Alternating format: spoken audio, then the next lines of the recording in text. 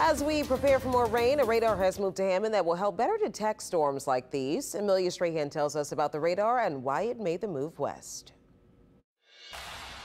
For almost three decades, the KLIX radar stood at the National Weather Service in Slidell. But in November, it embarked on a journey west over the years, we realized there was an opportunity to move that radar farther west and just get better coverage across our entire area. The National Weather Service spent three months transporting and reassembling the radar, and now it calls Hammond home.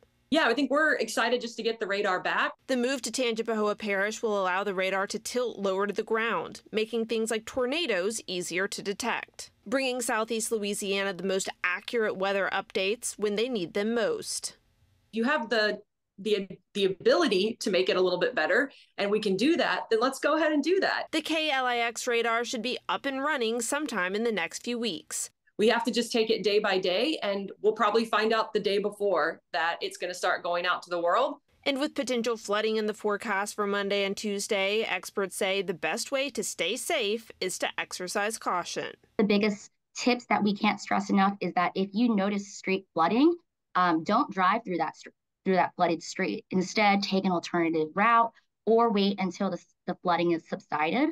In New Orleans, Amelia Strahan, WWL Louisiana. The National Weather Service will use the radars out of Mobile, Jackson, Lake Charles, and Louis Armstrong Airport to monitor the weather conditions until the KLIX radar is fully operational.